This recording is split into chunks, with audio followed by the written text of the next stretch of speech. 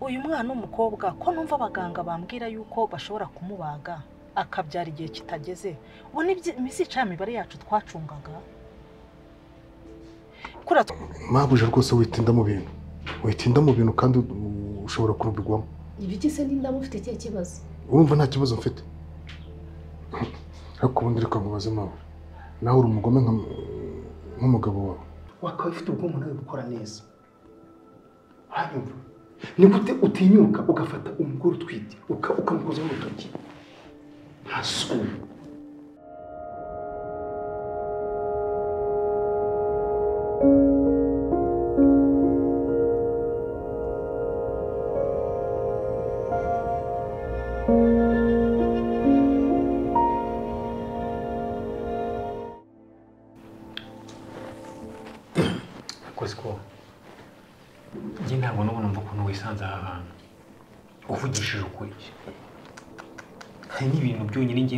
Ntabasha gukurura ngo mbyumve mbabara umbwese ukuri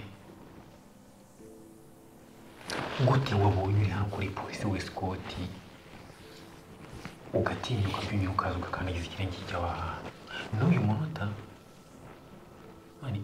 ukaba wicaye aha ngaha tekereza nk'akaga byonyine turimo njye naje hano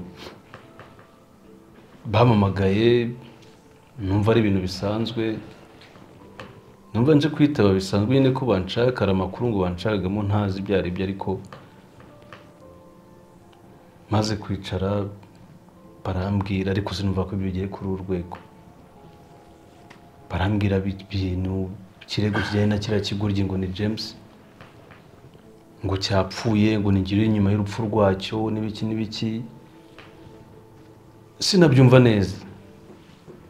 Ngo ariko ngo, agiye gupfa. Ngo yasize avuze izina ryanjye avuze izina Scott. Mu magambo make yumva ko kiriya kigoryi cyashatse kunkirishamo kuba byonyine yavuze izina ryanjye yego ngo hari abandi benshi bakeka ko tuba turi kumwe datari njye ariko kuba yavuze ko Scott byonyine gusa.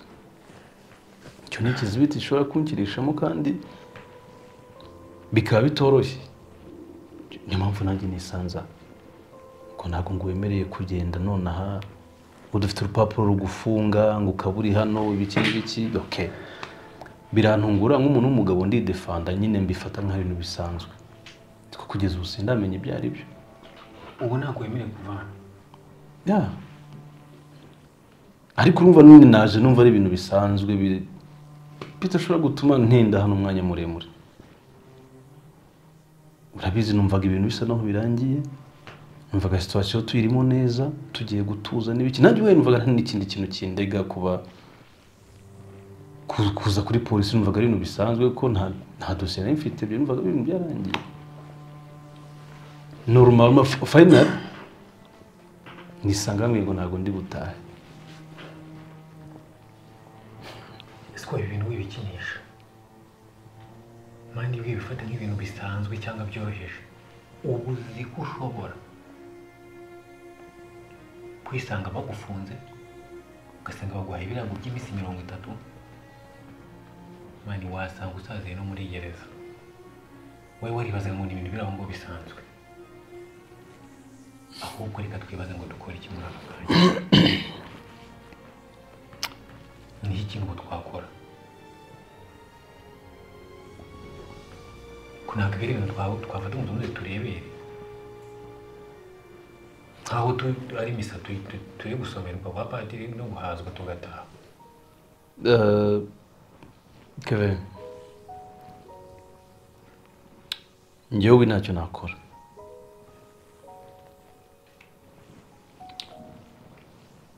ahubwo buri gihe ngeze muri situwasiyo nk'iyi isa naho igoranyemo nta kindi kintu ntekereza. Gusa nakubwira ikintu kimwe. Genda ujye kureba papa. Umubwire situwasiyo ndimo umubwire uko bimeze n'impamvu ndi hano. Hanyuma ibyo ari bukubwire uze kubikurikiza uko bikubwiye. Nanjye kandi making sure ko uri bubimbwire hanyuma nyuma yabwo turi buze kumenya icyo gukora kandi abizi ko bitari bugorane. Kandi ndabizi neza ko ari kubwira ikintu cya nyacyo. Ntushyire mu mutwe ibintu bifate nk'ibisanzwe nk'aho uri kumbona hanze. Ntabwo nshaka kugenda ngo ushyire umutwe upanike wangize ibintu byose. Urimo uranyumva keve okay.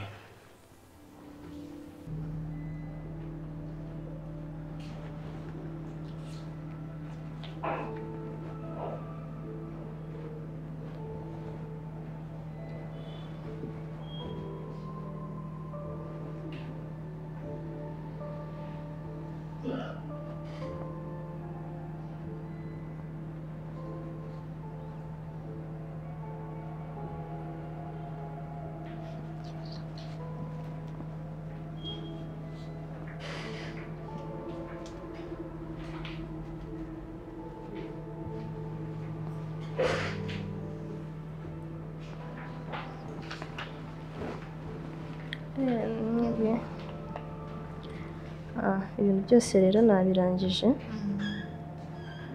Nawe icyo mugiye gukora ni uguhita mujya kwishyura iyi miti.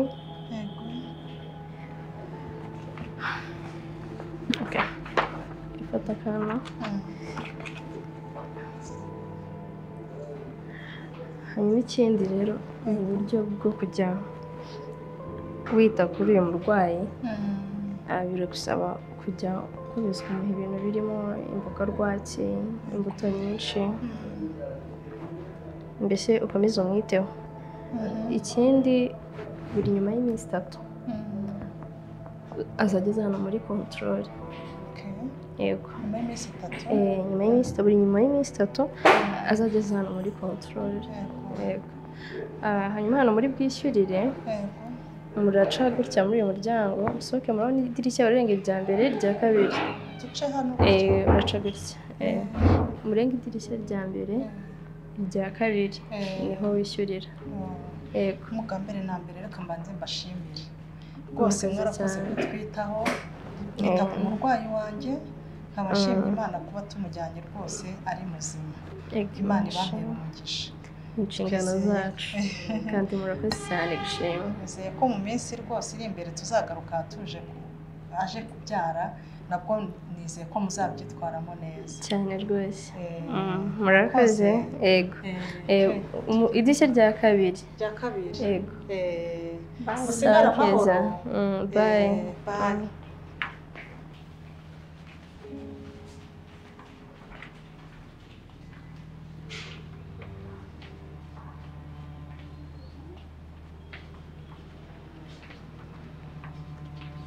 Manuke buhoro.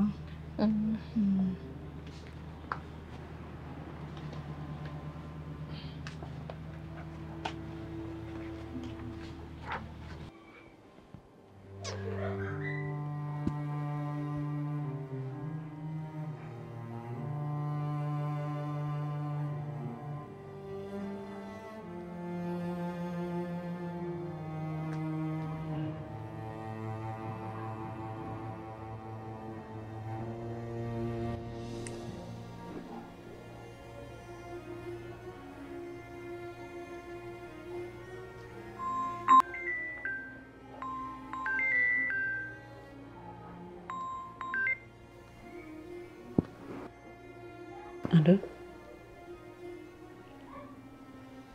Hmm. Ngwiki? Scott? Eh? Umva buretse ibyo bintu urabizi neza? Eh sawa sawa sawa ibindi ndabikurikirana ntacyo. Scott?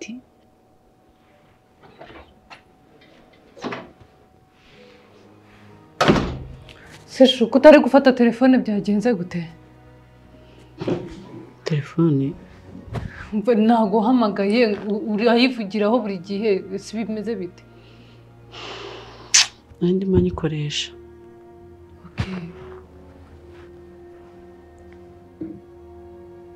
siko mbona uri kure byagenze gute nkuye ntacyo bike bimeze gute se nyemeze neza Mm. umva reka nkubwire ndabona uri reka umeze neza meze neza ariko wowe mbwira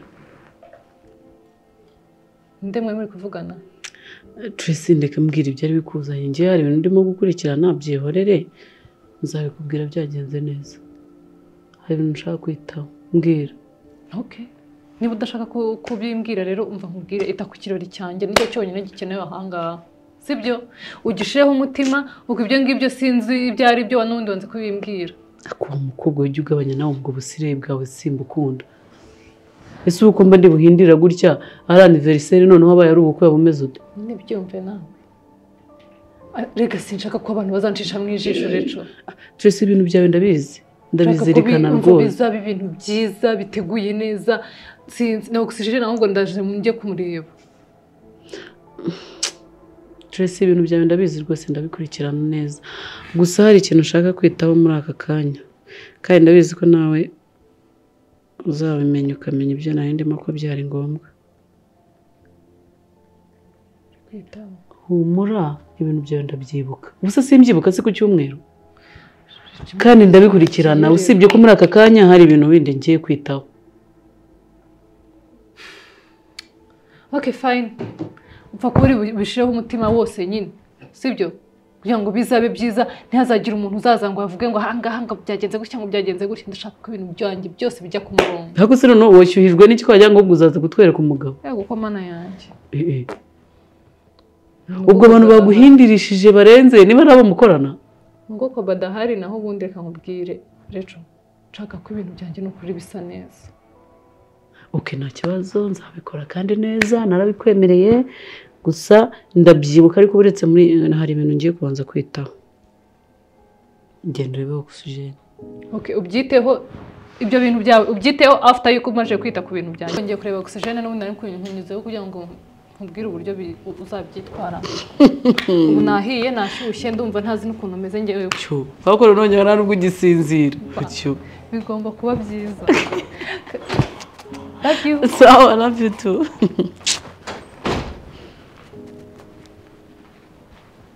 Kava bite se kandi kuje hano ntabwo natwe dufitanye imeze biti nanjye ntabwo nakabaye nyine nje ariko ndagenzwa n'inkuru mbi y'akanyagwa inkuru mbi? Inkuru isivuye kandi kwa ko keza ameze neza ni inkuru imeze gute? Ntabwo ari ibyo kuvuga ariko nyine nanone sinabyiherera ko Scott bamufunze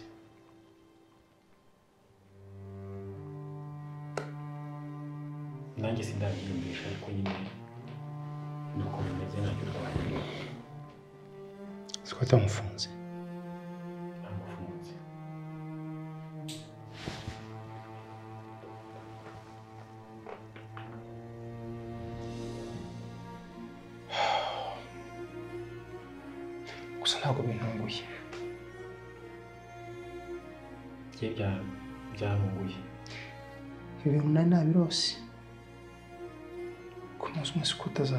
azansanga hano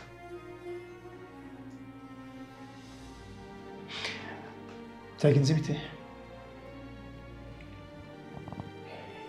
urumva ntabwo ntabwo ari ibintu umuntu yatekerezaga ko byaba rwose nabonye kabona Scott bamufunze ariko nta byinshi ndamenya gusa nyine amafuti ya Scott cyangwa se ibyo yakoraga byose twese turabizi. Turabizi. Gusa nta nyine nta birenzeho nta birenzeho nta nyine ntamenya wari kuri polisi yego.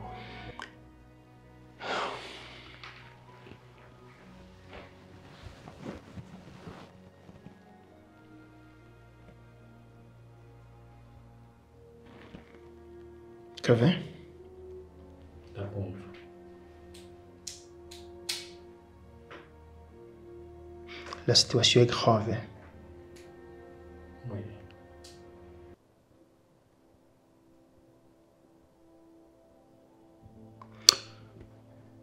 Ukoreshe uburyo bwose ubonana na Scott. Kuko biremewe ntabwo bizakugora. Ugende umubaze uko byifashe. Nawe atanabizi kandi. Mubwire cya kiburi cye agishyire hasi. Amazi ntabwo akiri yayandi wa mujinya we mwambie atie chini. Nanielewa? Nakusema.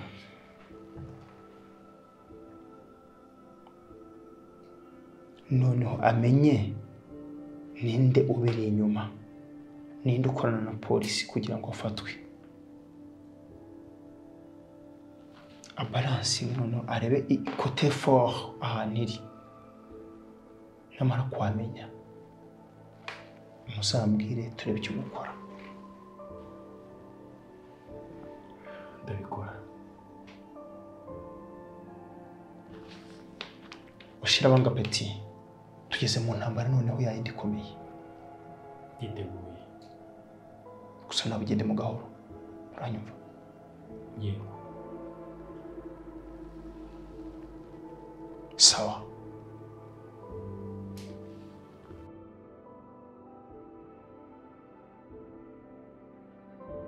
Fande mu by'ukuri nari nje hano kugira ngo menye ikibazo umwana wanjye akurikiranyweho rwose ndi mu rujijo ntabwo nzi ibyo yakoze.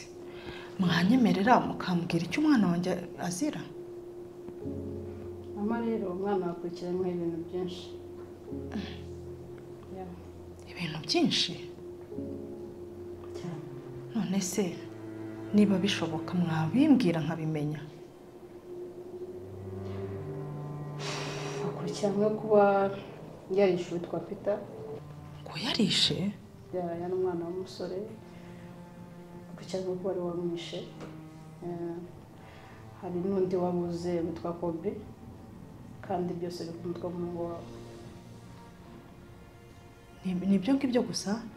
Afande reka ngo usabe oya ntabwo ibyo bishoboka rwose reka nkubwize ukuri. Umwana wanjye sikoti ntabwo yakora ibyaha bimeze gutyo byo kwica?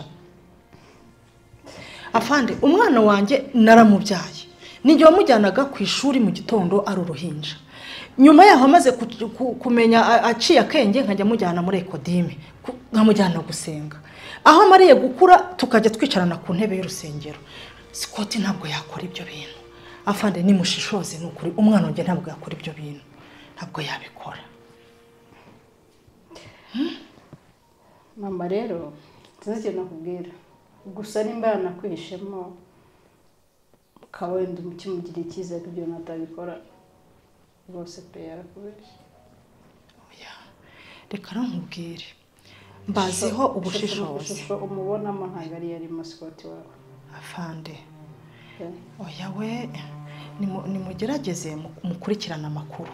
Rwose mbaziho ubushishozi nzi ko ubuyobozi bwacu mureba kure.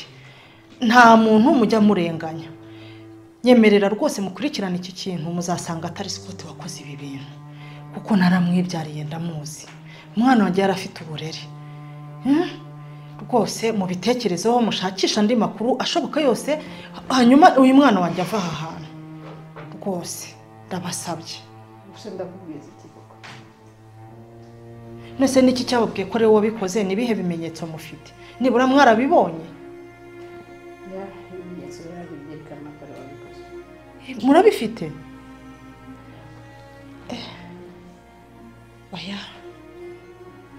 afande gusa wenda ushobora kuba udashobora kubyizera. Ariko umunsi yagiye mu rukiko Mm, uzabimenya mwana we. Ibimenyetso bikamufata uzamenya umuhungu wawe ari we. Kuko uko akwiyereka ntabwo ariko ari oya fande ntabwo ibyo byaba ku mwana wanjye. Urukiko gereza n'ibiki byose byo gukatirwa ntabwo mbyemera.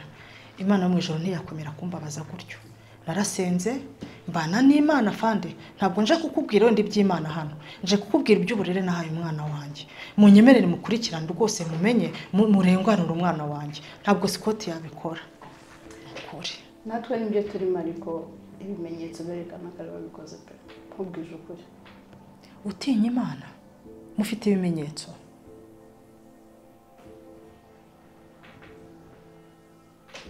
Gusa kutabyizera kwawe urukiko nirugaragaza ibimenyetso uzamenya umuhungu ubu ntabwo nyina bikubwira ngo byumve bitewe n'uko uri kumva wamureze uko wamukojeje biragoye kubyumva.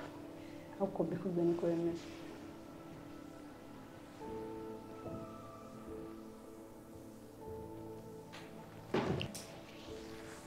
Afande mwanyemerera se nkamureba?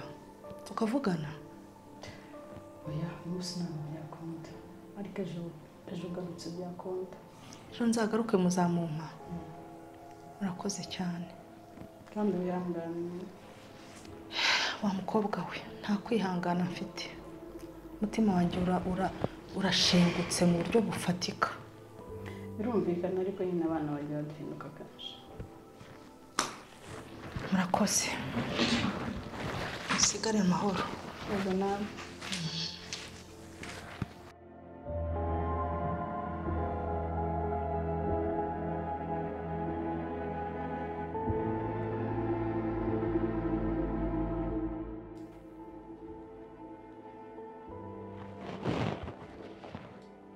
yego ndacuka nabwo ntukajya umpamagara mu masaha y'akazi none umpamagariye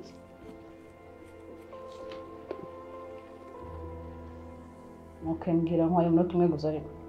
Kuri kunyicira akazi pe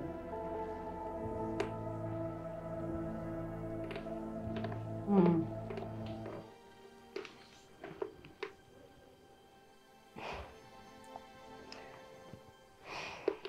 sinzi amakuru wayakuye ariko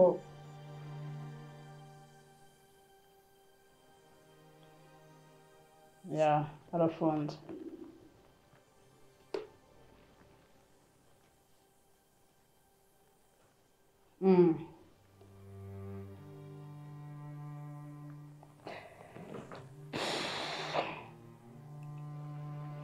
Jya ariko nawe ubwenge ibyo bintu ujye ubirekera polisi bazajya babikurikirana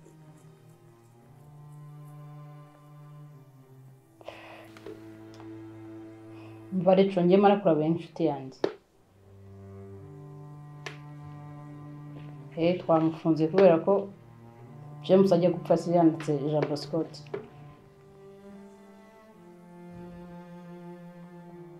njye nabwiye ngo biharire polisi tubikurikirane wowe bivemo nzayamumenyesha amakuru. Kandi ntuzongere kujya umpamagara pe narakwiyamye kandi. Witwaza ko turi inshuti tuziranye bigatuma unyicira akazi. Ciao.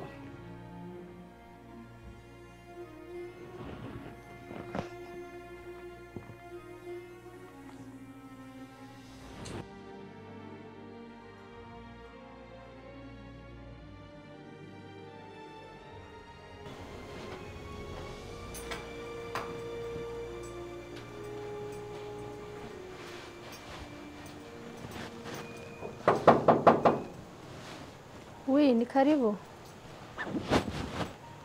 Ni karibu.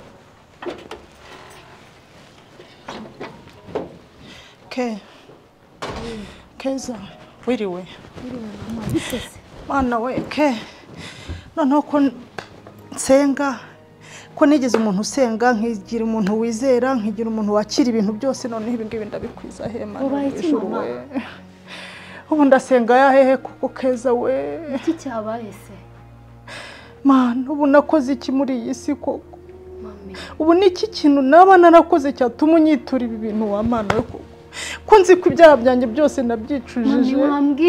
Kuva nakira Yesu nk'umukiza n'umucunguzi nta muntu ndahemukira kuri iyi si. Na mbere ntaranakizwa nagiraga umutima mwiza. Ibi bintu ndabyerekeza he koko mana yo mu mana we? Wagize ikihe kibazo? Koko naremewe iki koko ubu naremewe kubabara koko mami wambwiye wabaye iki?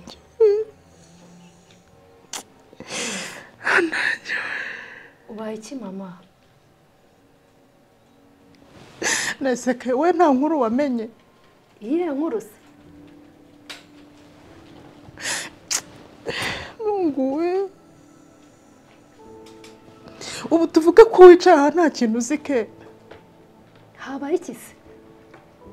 Njyewe uri kunjanga pe nta kintu nzi. Habaye iki? Reka ntihanagure. Mama n'iki kintu kiri kukubuza bigezaho koko? Sikoti bamufunze. Gusa n'ubundi ndakuririra mu maso wa mugani nguca n'intege mwana wanjye kubera iki? Mana mbabarira ufata aya marira ndakwinginze wa mana we. Fata aya marira we.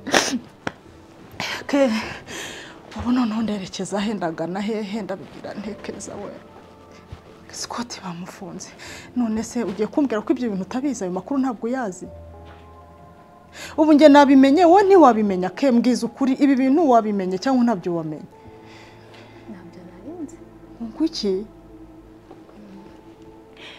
bamufunze ubu mana kubyara nabi imana muri iyi si we. Mbega agahinda. Burya agahinda ntikica kuko kagira mubi. None se ke? Ko umuntu ntacyo bikubwiye. Nari mbizi ko sikoti bazamufunga. Ngo ngo iki usibye ko ntarinzi ko munsi ariko nari mbizi ko bazamufunga. Ariko ke umbanye nabi nawe. Ntabwo mufata nk'umwana wanjye. Wari ubizi ko bazamufunga ukabika iryo banga? Ntubimbwire ntabwo ari ukubana nabi mama. Niko ngaho mbwira Eh, hari ibintu umuntu aba adafite ukuntu yavuga. Sikoti buriya yishe umuntu. Ke urabizi ko ngukunda? Ke burya ndanakubaha ariko mbabarira usubize iryo jambo ahantu rikuye. Ngo sikote umwana nabyaye nakuye mu nda yanjye. Nkamwonsa. Nkamukuza akaba umugabo. Ugiye kumbwira ko sikoti yishe umuntu. Hanyuma si yishe umuntu sinabimenya. Sikoti yishe umuntu kandi uwo muntu yishe akaba ari umwana wa musaza wa musaza wa- wakoraga hano. Wa musaza uwo muzamu watwakiraga ku rugi. Ni wa muzamu wacu. Sikoti umwana nabyaye ngo yishure ngo yagize gute? Sikoti yishe umuntu mama. Vuga ibindi. Uribuka cya gihe kwa muganga uza kunsura ugasanga bampinduriye icyumba. Erega nanjye buriya abantu bari bagiye kumitana kubera sikoti ngo ngo iki? Eh, kubera yahemukiye abantu benshi baraje bashaka kunyicira mu cyumba. Nagiye kubona nyine mbona uwo nguwo kunjamaraje. Ambwira ko abantu bafite umupango wo kuza kunyicira mu bitaro. Nyine bo sikoti yahemukiye harimo na wa mukobwa witwa ngo ni cati ya shitani y'umukobwa even nawe yaje ariyo gahunda afite ariko nyine agira ubwoba. Bashaka amenya kukwica? bashakaga kunyica. Mwami yesu i nazareti. Nibwo yahise ngo boherejwe nande? Bizanye gusa se none se bihurira he no kuba sikoti bizanye nyine kubera ubugome bwa sikoti yambwiye yuko ngo umuntu wese ukomoka ku muryango wa sikoti bashaka kumumerera nabi bitewe n'ubugome sikoti yakoze. Nuko rero kunjame yabimbwiye aranampungisha ni bwo wese bamuhindurira icyumba uwaguhungishije ni kunjame none se ke? Ibyo bintu wari umaze iminsi ubizi? Nari mbizi. Ngo iki? Nabimenye nyine umunsi bampindurira icyumba. Oh my god. Ibi ni ibiki noneho ndimo guhura na byo? Se ndimo ndarota cyangwa? Hanyuma ukabimenya ntugire ikintu umbwira se mama ibyo bintu nari guhera he mbikubwira ko u- ayo makuru uriya neza? Ntabwo ari byo bindi byo kunyangira umwana. Bakamuhimbira. Eh? Oya itonde neza kanguka ushobora kuba usinziriye ke ubwo ntusinzire nturimo urota kanguka neza ushyire ubwenge ku gihe. Umbwize ukuri. Ibyo bintu urimo umbwira ni ibiki? Mama sikoti ntahari. Uzamwibarizwe ku giti cye. Natabikwemerera ubwo nzaba mbeshya ayiwe data mana mu ijoro we. None ndabigirane mana yanjye. Ndapfuye ndarangije noneho. Hmm? Mhm, eh, keve ndakumva eh, papa yakubwiye ngo iki twavuganye namugezeho ambwira ko ikintu usabwa ari ukuguma ucecetse ikintu ugomba gukora cyonyine ni ukureba ukarebesha amaso ko ntihagire ijambo iryo ari ryo ryose rigucika riva mu kanwa kawe. Ubwo ntitukabanza tukagushakira ukunganira mu mategeko. N'igihe cyose bagusaba kugira icyo uvuga. Ubabwire ko utegereje ugufasha gusubiza ikibazo icyo ari cyo cyose bakubaza. Kuko hari igihe polisi igukurura ukinyuraguramo ibyo wivugiyeho ubwawe akaba ari byo bizagushinja.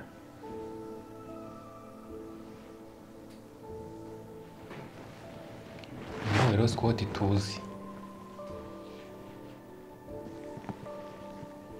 Ntabwo ugomba kugira ikintu icyo ari cyo cyose wavuga.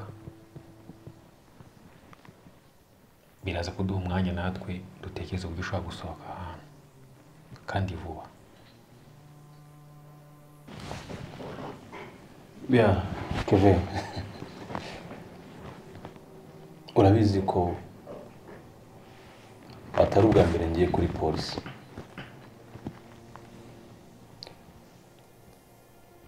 Ndabizi ko polisi ari igiye kubaza ikintu kugira ngo ikumve cyangwa se igushakemo amakuru mu bundi buryo.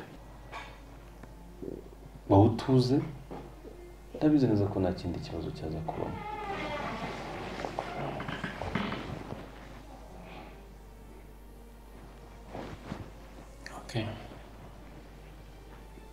nta kindi nta n'ikindi dufite cyo gukora uretse gutuza muri aka kanya eh, ndabizi neza ko mufitiye impungenge cyane cyane ko.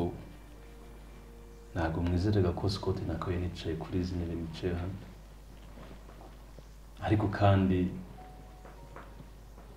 ntibibatere n'ubwoba kuko ninjiye hano ni nako nahasohoka turumva reka turebe dutegereze twumve. Natwe ni cyo turimo gutekereza. Hanyuma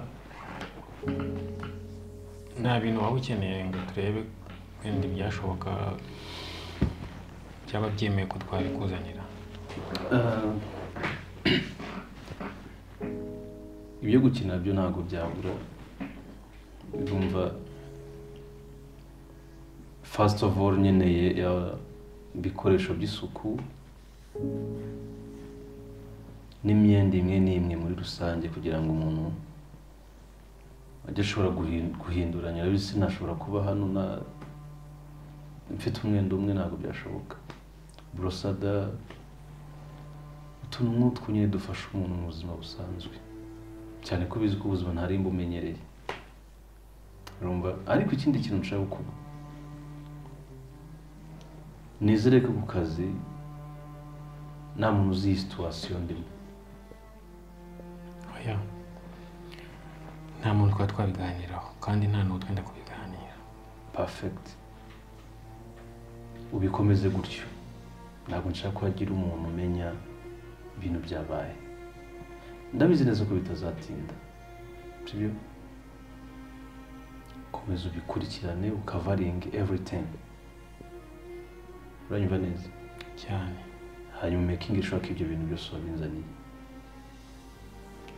Nibagirwe rya kote ryanjye ry'ingofero ryo mu rugo uri rigweza ikote ry'ingofero ririmo amabara gutya nta kibazo. Hano haba imbeho nyinshi kandi ndarikeneye cyane. Sibyo? Turakora ibishoboka byose. Ibikenewe byose kandi birakugeraho vuba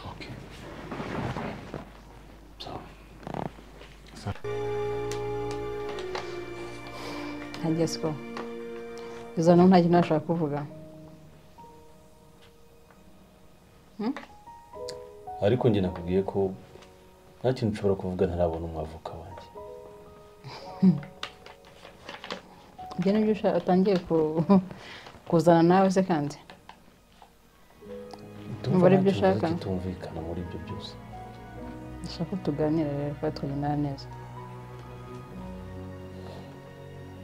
ndashaka ko nzajya nkubaza ikibazo ko nkikubaje ukampa igisubizo cy'ikibazo nkubajije ikindi kandi nshaka guterana nawe amagambo ikibazo nkubaza ari cyo nsubiza turumvikana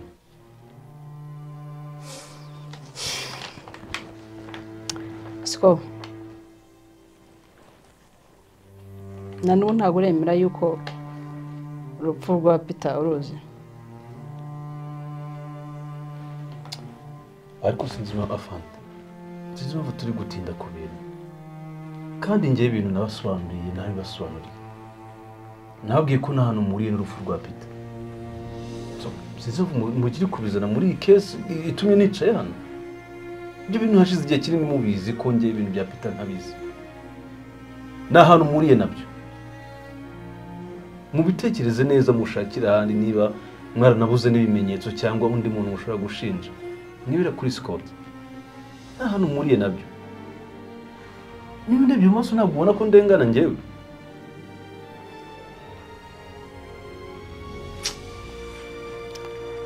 Scott ikibazo cya kabiri kiragira giti?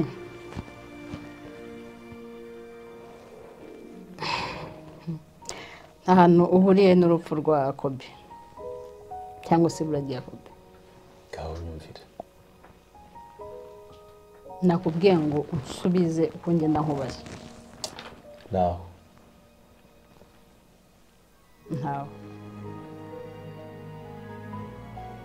cya gatatu. Scott urupfu rwa James Scott ntabwo ntacyo uruziho Ah, urupfu rwa james icyo nduziho ni kimwe? Ni uko ko ashobora kuyagambanira n'abapolisi bagenzi be. Scott ceceka aho ngaho. Kuko ntabwo byumvikana ukuntu umuntu w'umusivili yinjira mu, kigo cya polisi akaza akiciramo umuntu. Ibyo ntabwo byumvikana gato. Uzi ibyo bintu uri kwigira. Uzi ko na James abyo yigiraga. Ari kwigira ibyo bintu uri kwigira. Scott ushaka kugabanya amarere? Ntabwo amazi akiri yayandi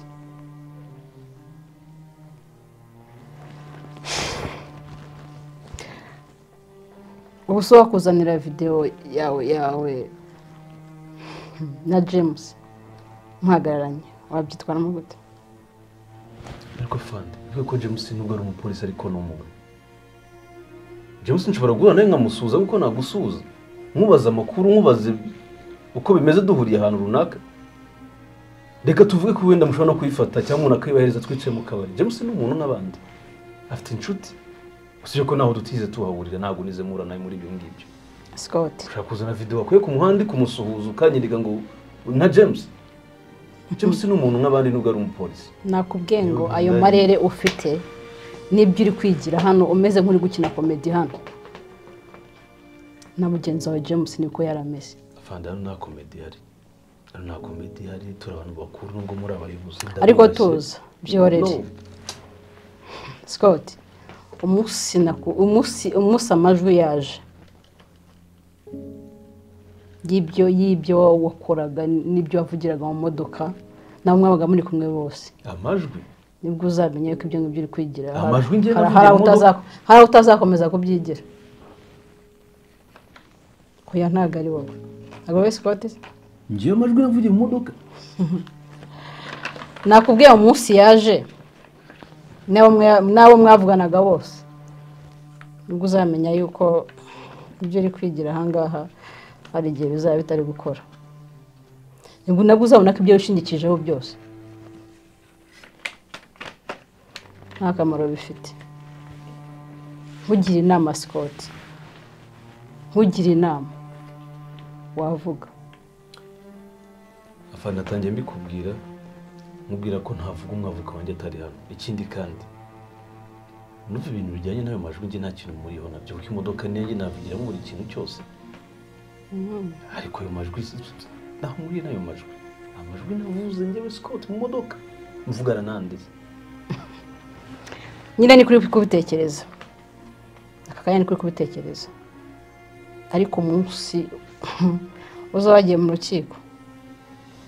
Nibwo none nta- n'imbabazi wakaka nta n'icyo uzaba ucyemerewe kuba wasaba ngo ugihabwe. Ugiye inama rero wava mu byo urimo ukareka sinzi ibyizere ufite uri kwishingikiriza ariko nkugira inama wava mu byo urimo. N'ibyo uri gutekereza byose ukabireka.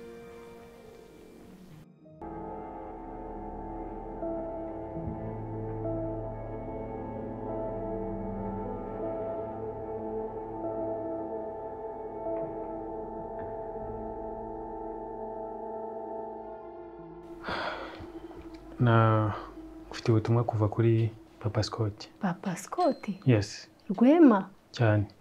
Ariko wabaye n'umujura simbizi ahari Eh? ushobora kwihisha abantu muri iyo ngofero ariko imana yo mu ijoro ntaho wayihungira uyihishe.